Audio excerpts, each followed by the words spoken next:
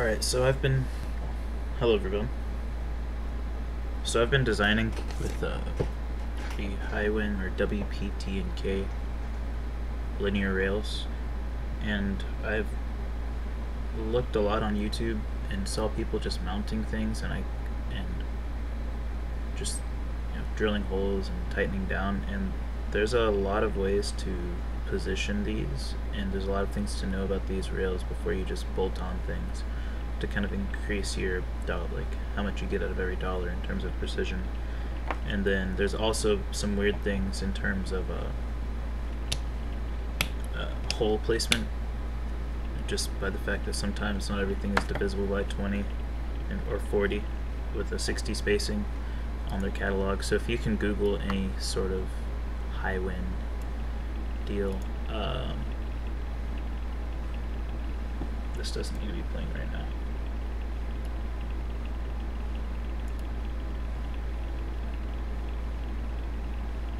It's a really good song, though. Oh well. Alright, well. Back to this. Alright, so. I'm going to explain some basic things about the rails that I just learned, and so I could be wrong. Please correct me if I am. But uh, static baseload is the amount of um, pressure or force it can take. Sorry, not pressure, force it can take before um, detinting the rail or the ball or roller for that matter, if it's a roller, um, one ten thousandth of the diameter of the ball. So it's going to be 27.76 kilonewtons of force down, bearing down before you detint or before you um, deform the rail or the ball by one ten thousandths of the nominal diameter.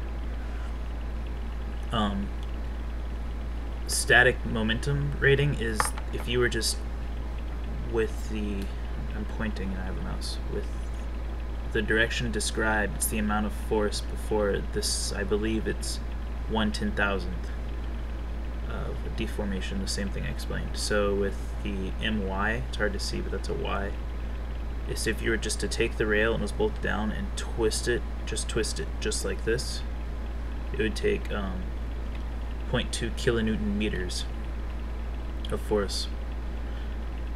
Is that over a meter? either way. Before it uh, deforms. And then dynamic baseload rating is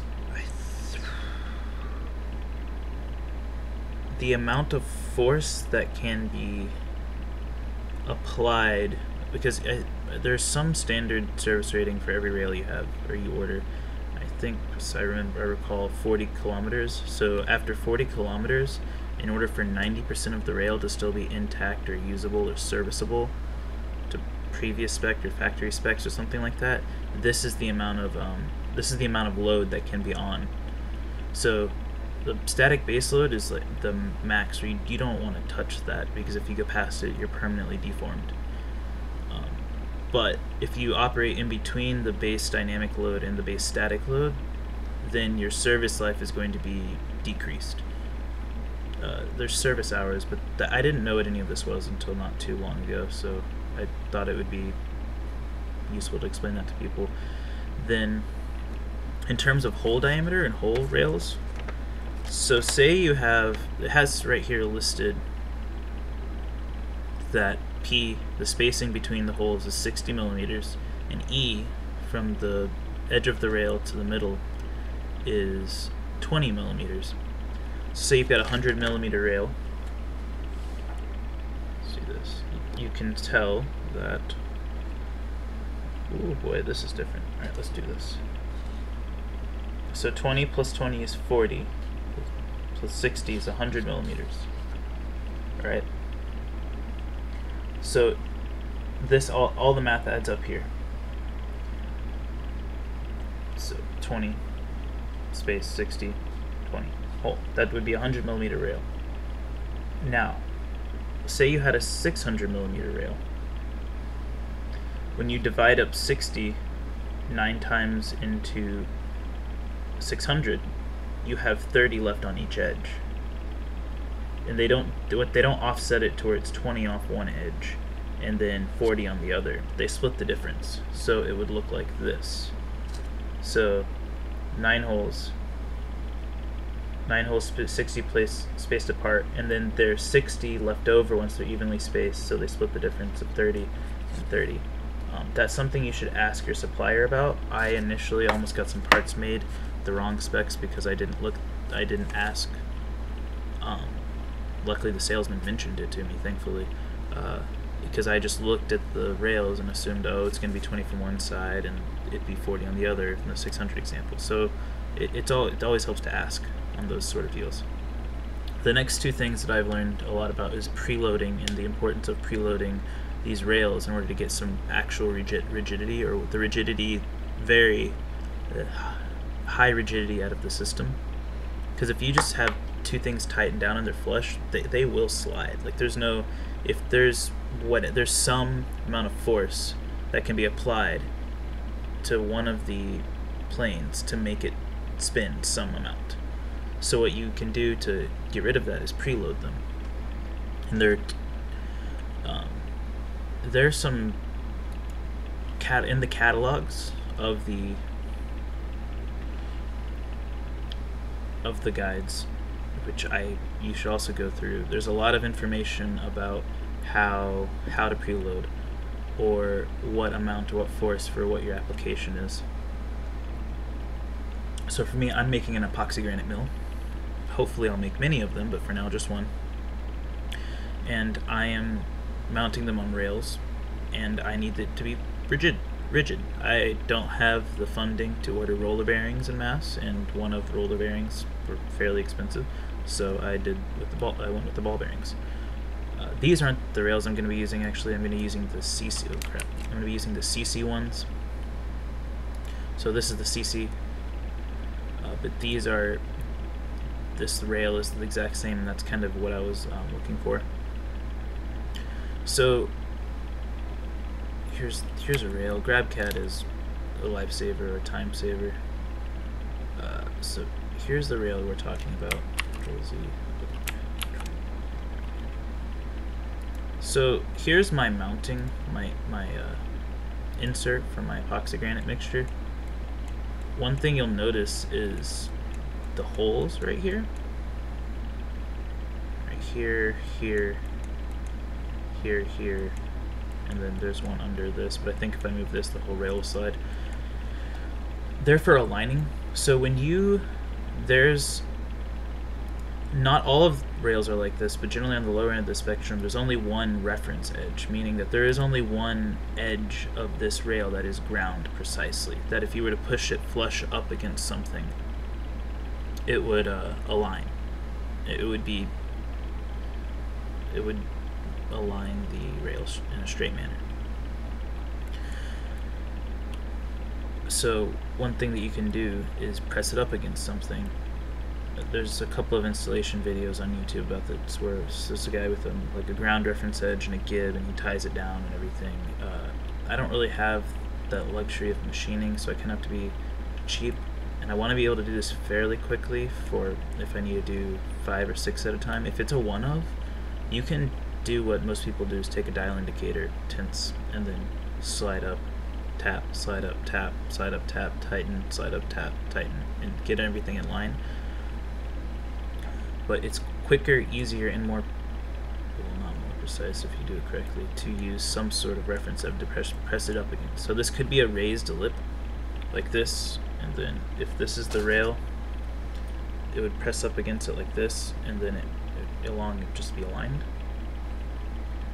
But seeing as I'm using a, it's epoxy granite, so yeah, but seeing as I have to use a mold for this, I want these holes to press up against the mold so I can't have a protruding thing. I have to add something after. And so what I have is these are dowel pins. Uh, I use two different sizes because when I get things machined, they're not going to be perfect. So I'm going to, I gave myself six different holes of two different um, dowel pin sizes and I'll be able to mix and match to see what um, gets me closest and then I can do things by hand after. So that's the first method, first thing of preloading you need to do, or you not need to do, but it will help you go get every dollar that you spend because these the carry the rails are fairly inexpensive, but the carriages are expensive. They're you know ten to thirty dollars a piece depending on the quality and type that you get. Then the next type of preloading you need to do is for the carriage. So turn this off, turn this on. So here's my lip for the carriage. I haven't, I don't have it shown here, but what I'm gonna have it do is I'm gonna have a tapered, I'm gonna have like a 90 degree thing, a block, piece of plastic, probably Delrin, the hole in an angle, some screw that matches the angle, and I'll just screw it down to push the block up against this rail and that preloads it and I can tighten that I can torque tighten it however I need to and that preload will will make it much less likely to move from its original position it takes at least that minimum amount of force for it to move from its original position if it's pressed up against something so those two types of thing those two things should be kept in mind when making your and designing your machine. Now, they aren't necessary. You don't have to do these things, but they will increase the rigidity of your machine. Oh, one more deal. When I first made my very ghetto CNC machine that I think there are a couple videos on, um, when I made the rail, so I made the holes, I made them the same size as the screws because I was like, oh, the screws same size the hole. You do these rails, the screw, the holes under should be the same size as the mounting rail, but the hole inside the mounting rail should be larger. So you see how this uh, this diameter is slightly larger than this diameter? That gives you room for alignment because it's like imagine if you like if you had this be the same size, they would have to line exactly within like a tenth or less, and to not have like jar everything when you tighten things down. So this gives you a little leeway room, and this allows you to finally adjust things. Um, so yeah, that's probably not the quickest video, but a quick video of a few things I've learned machine, machine a few things I've learned designing with just these rails. There's a lot of other things I learned, and I can talk about from spindles to castings to everything if people are interested. So, yeah, thanks.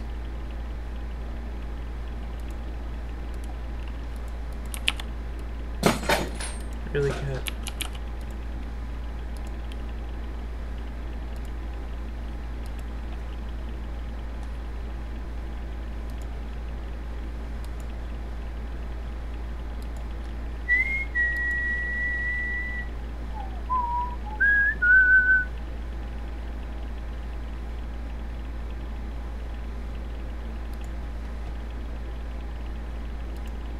Take a shot of Hennessy when I go to taste them.